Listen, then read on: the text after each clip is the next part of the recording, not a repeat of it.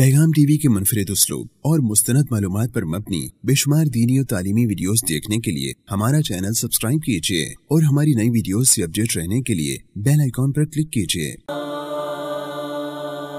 سمجھے ہر ایک چیز کو در حقیقت۔ دے دے الہی وہ نور بصیرت۔ الحمد للہ وحدہ والصلاة والسلام على من لا نبی بعدہ۔ اعوذ باللہ من الشیطان الرجیم۔ بسم اللہ الرحمن الرحیم۔ لقد جاءکم رسول من انفسکم عزیز علیہ ما عنتم، حریص علیکم بالمؤمنین رعوف الرحیم۔ تمہارے پاس رسول آئے، تم ہی میں سے۔ اور جو چیز تمہیں مشقت میں ڈالنے والی ہے، وہ ان پہ ناگوار گزرتی ہے۔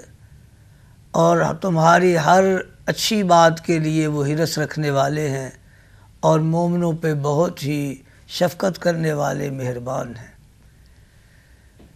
پیغمبر علیہ السلاۃ والسلام اپنی امت کے لیے ایک باپ کی حیثیت رکھتے ہیں۔ تو ایک باپ اپنی اولاد کے لیے ہر شعبہ کے اندر رہنمائی کا فریضہ سر انجام دیتا ہے۔ وہ اس کی معیشت ہو، اس کی تعلیم ہو، اس کی تربیت ہو اور اس کی معاشرت ہو، ہر معاملے کے اندر وہ اس کے لیے ناسحانہ انداز اختیار کرتا ہے۔ تو پیغمبر علیہ السلاۃ والسلام تو باپ سے بھی زیادہ امت پہ شفقت کرنے والے ہیں۔ اس لیے سب سے پہلے جو زیادہ خیرخواہی کا عنصر ہے وہ لوگوں کی تفہیم اور لوگوں کو رائے راست پہ لانے کا انداز ہے۔ خوراک اپنی جگہ پہ، لباس اپنی جگہ پہ، ضروریات اور رہائش اپنے مقام پر۔ لیکن پیغمبر علیہ السلاۃ والسلام کے مد نظر سب سے پہلے یہ بات ہوتی ہے کہ ان لوگوں کی اصلاح کی جائے۔ اور اس اصلاح کے لیے جو انداز حضور علیہ السلام نے اختیار فرمایا، کائنات کے اندر کوئی بھی نفسیات جاننے والا اس سے بہترین انداز اختیار نہیں کر سکتا۔ دوسرے معنوں میں، آج کے دور میں نفسیات کو ایک باقاعدہ علم کے طور پر لیا جاتا ہے۔ جبکہ پیغمبر علیہ السلاۃ والسلام کو یہ علم اللہ کی طرف سے عطا ہوا تھا اور آپ کے مخاطبین اور آپ کی امت، ان کے مزاجوں کو سمجھنا، ان کے حالات کو سمجھنا، ان کے اذہان کی سطح کو سمجھنا اور ان کی طبیعت اور مزاج کو مد نظر رکھنا اور اسی کے مطابق ان سے گفتگو کرنا تاکہ وہ ان کو، اس کا قائل ہو سکے۔ یہ کائنات میں پیغمبر سے بڑھ کر امت اور انسانوں کی نفسیات کا زیادہ ماہر اور کوئی نہیں ہے۔ آپ اندازہ لگائیے کہ آپ کو ضرورت پیش آئی کسی انسان کو سمجھانے کی، تو یہ ضروری نہیں کہ ہر انسان کو سمجھانے کے لیے گھنٹہ تقریر کی جائے اور باقاعدہ ایک واز کی جائے تو پھر وہ اس کو، اس کے اندر یہ اثر پیدا ہو۔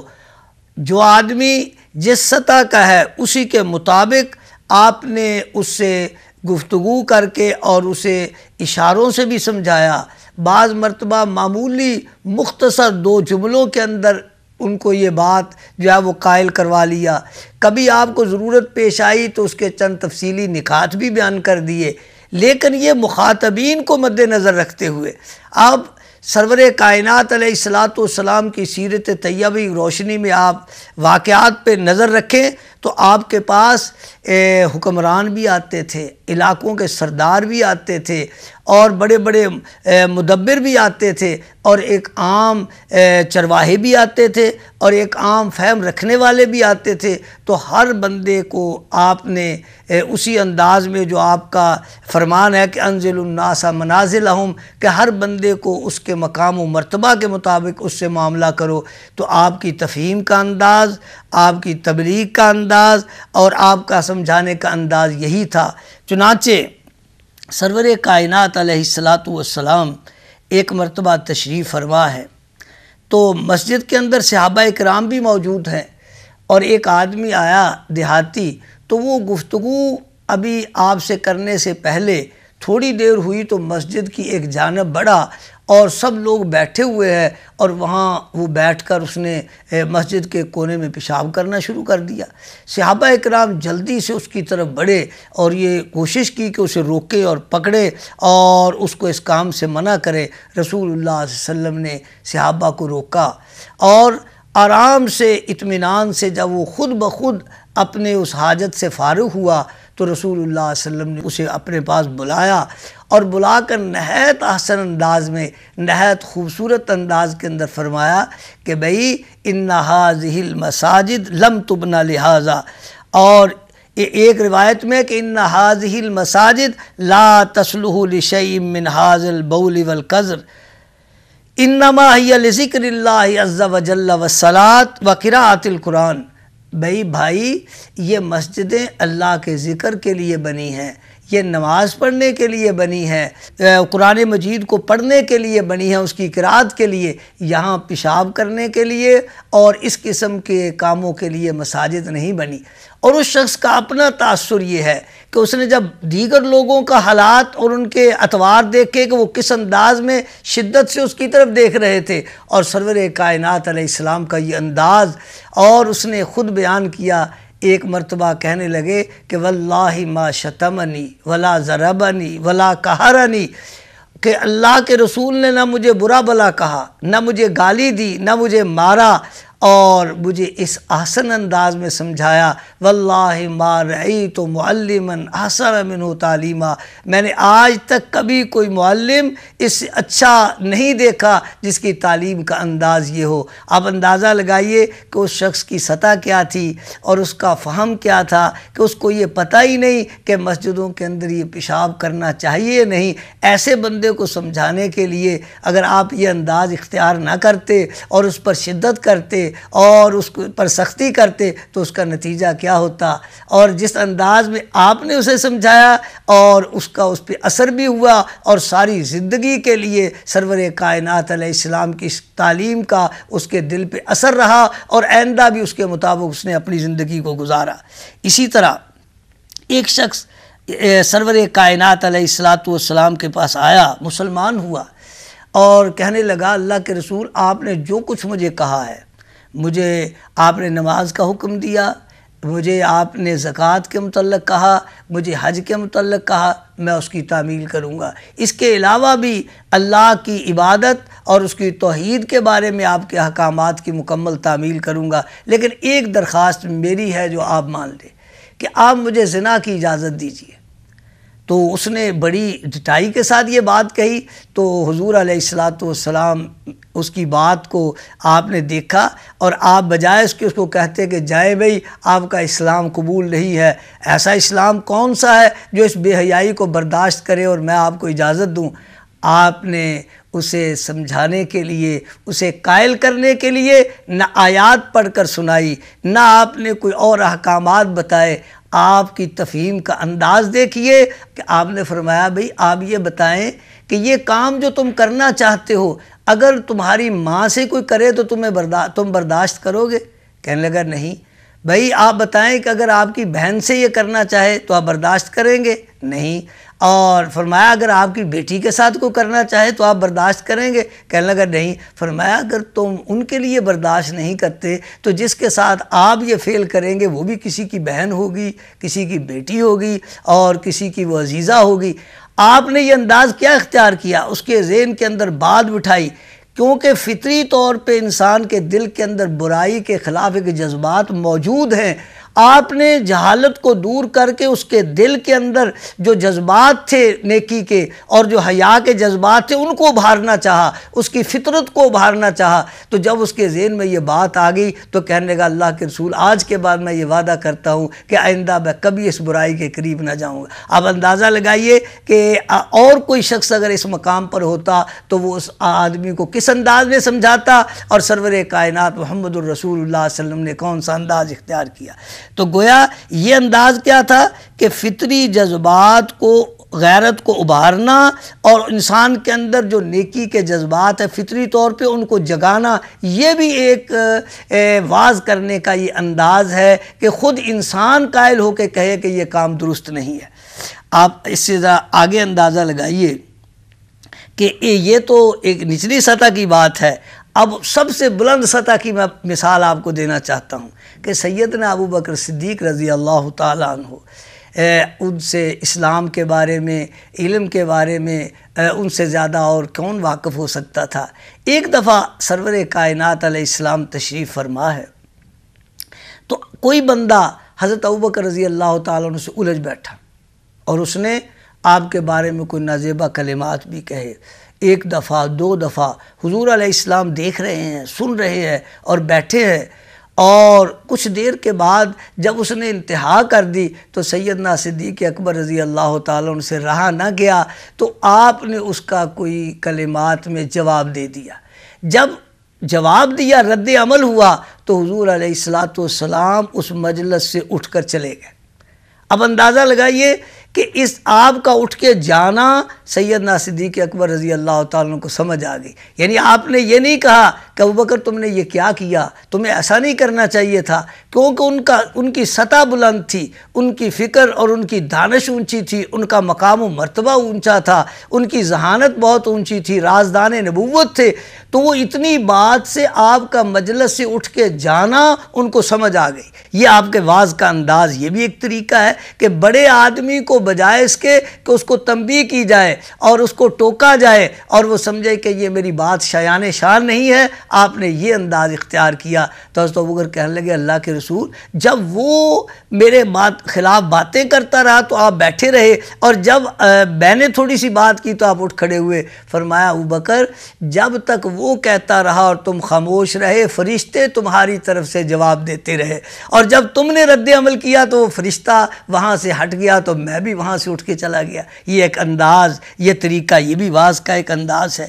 اسی طرح سرور کائنات علیہ السلاۃ والسلام کے پاس ایک دفعہ میں جو بات کر رہا تھا کہ بڑے بڑے سردار اور بڑے بڑے صاحب فہم اور عہدیدار اور اپنے علاقوں کے نواب قسم کے لوگ بھی آپ کے پاس آتے رہے۔ تو میں اس سلسلے میں ایک واقعہ ذکر کرنا چاہتا ہوں کہ حضرت عدی ابن حاتم رضی اللہ تعالیٰ عنہ حاتم تائی بڑے مشہور گزرے ہیں، سخی بھی ہیں اور آج تک ان کی مثالیں موجود ہیں اور کائنات کے اندر ان کی سخاوت کا شعرہ ہے۔ ان کے بیٹے ادی وہ اپنے قوم کے سردار تھے اور عیسائی مذہب سے تعلق رکھنے والے تھے۔ لوگ ان کی بات بھی مانتے تھے، ان کے متی بھی تھے، بلکہ ان کو اپنے مال اور غنیمت میں سے چوتھا حصہ بھی ادا کیا کرتے تھے اور ان کی حکومت چل رہی تھی۔ تو یہ نو ہجری کا واقعہ ہے کہ اسی دوران حضرت علی رضی اللہ تعالیٰ نے یمن کے علاقے کے گورنر بنے تو اس دوران مسلمانوں نے کارروائی کی اور اس بنو طے قبیلہ کے لوگوں کو گرفتار کر کے رسول اللہ علیہ وسلم کے پاس بھیجا گیا تو ان میں عدی کی بہن بھی تھی۔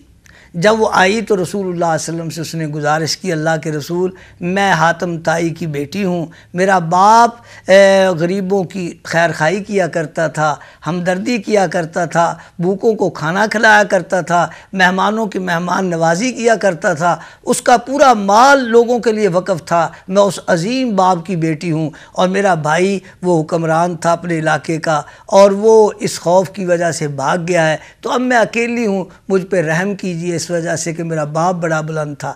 حضور علیہ السلام نے اس کو رخصت کیا اور اس کو تحف بھی دیے۔ جب یہ بہن اپنے بھائی کے پاس گئی تو اس نے جا کر اپنے بھائی کو کہا، بھئی ادی ایسے عظیم انسان کی مجلس میں تمہیں جانا ضرور ہوگا۔ اور وہ کوئی معمولی انسان نہیں، کوئی دنیا کے بادشاہ نہیں ہیں، وہ حکمران نہیں ہیں۔ جاؤ، اگر تم ان کے پاس جاؤ گے تو تمہیں بھی مقام و مرتبہ ملے گا۔ اب ادی وہاں سے سفر کرتے ہیں۔ اور مدینہ طیبہ آتے ہیں اپنی بہن کے کہنے پہ۔ اور ان کے ذہن میں یہ نہیں کہ میں نے مسلمان ہونا ہے۔ وہ خود ایک آدمی جس سطح کا ہوتا ہے، وہ حکمران تھے، نواب تھے۔ اب وہ دیکھنا چاہتے تھے کہ کیا یہ جس شخص کے پاس میں جانا چاہتا ہوں، یہ بھی اپنے علاقے کا نواب بننا چاہتا ہے، کوئی حکمران بننا چاہتا ہے، اور یہ لوگوں کو اکٹھا کر کے اپنی ریاست بنانا چاہتا ہے۔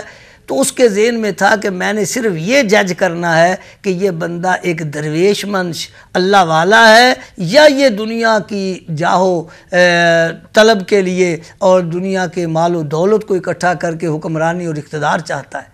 اب جو وہ مدینہ طیبہ میں آئے، حضور سرور کائنات محمد الرسول اللہ علیہ وسلم مسجد نبوی سے نکلے تو وہ سامنے کھڑے تھے، فرمایا، کون؟ کہنے لگا، عدی. فرمایا، حاتم کے بیٹے؟ کہا جی ہاں.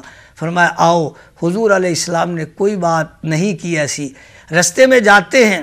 اب عدی آپ کی چال، آپ کی ڈھال، آپ کی گفتگو، آپ کا طریقہ، آپ کے اعتبار پہ نظر ڈالے ہوئے ہے کہ یہ کوئی جاہو جلال رکھنے والا ٹھاٹ باٹ رکھنے والا انسان ہے، تو یا حکمران ہے یا درویش آدمی ہے۔ رستے میں جاتے ہوئے ایک مدینہ کی بڑھیا عورت جو تقریباً درویش قسم کی اور نیم پاگل سی جس طرح مست قسم کے لوگ ہوتے ہیں، اس نے آ کے حضور سے کہا کہ، بھئی، اے محمد صلی اللہ علیہ وسلم، میں آپ سے بات کرنا چاہتی ہوں اور میں تنہائی میں آپ سے بات کرنا چاہتی ہوں۔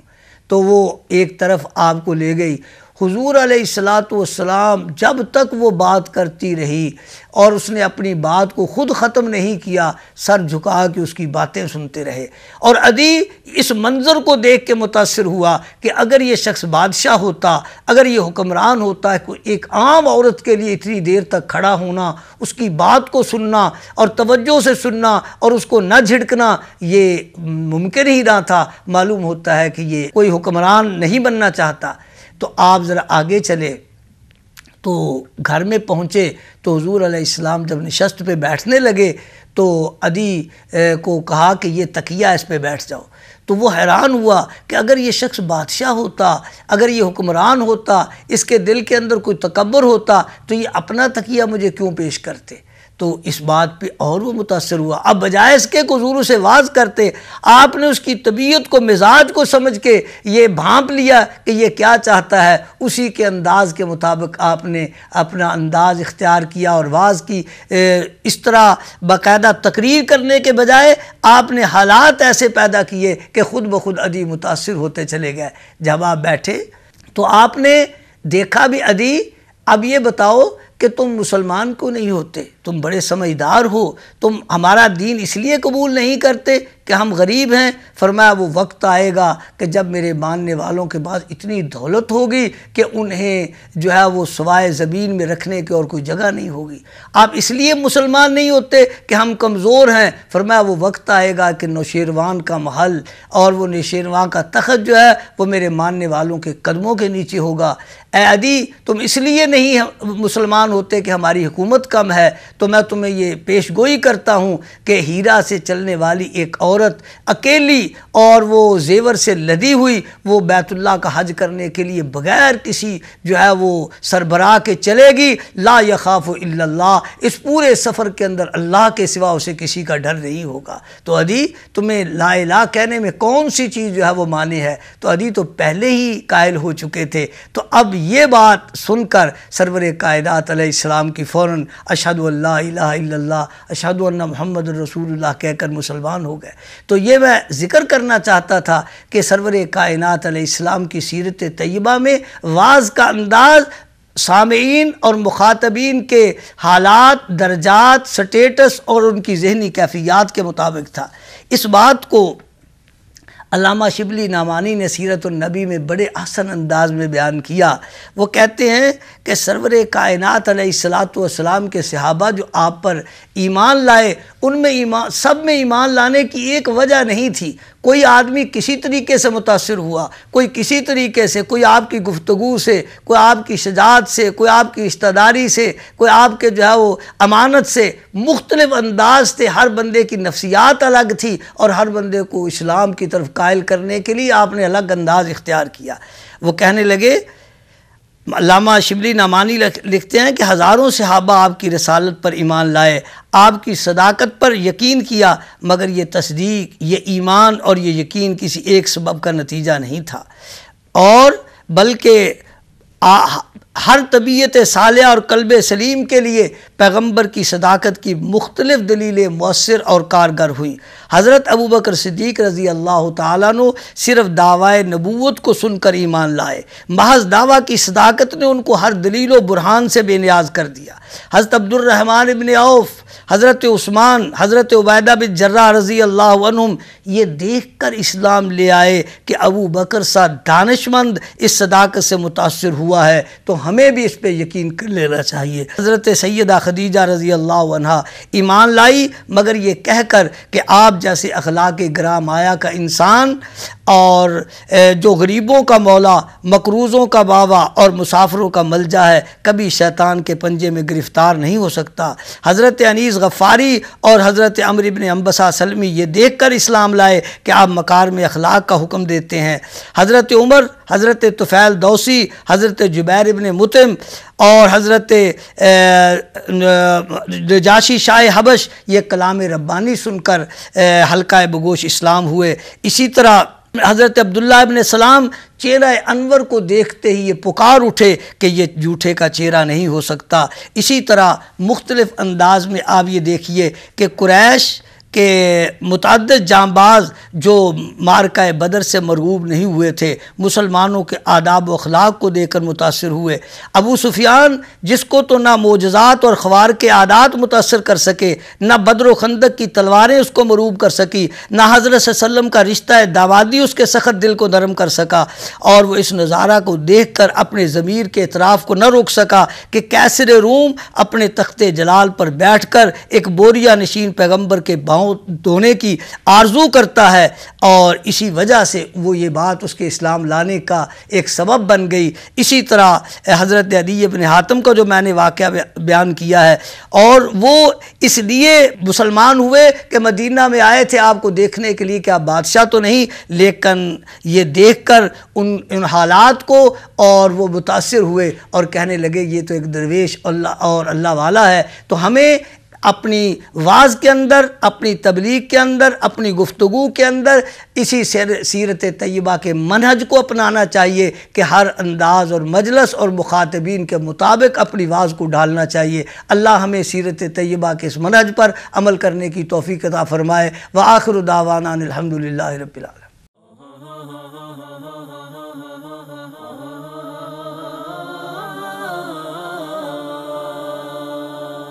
سمجھیں ہر ایک چیز کو در حقیقت دے دے الہی وہ نور بصیرت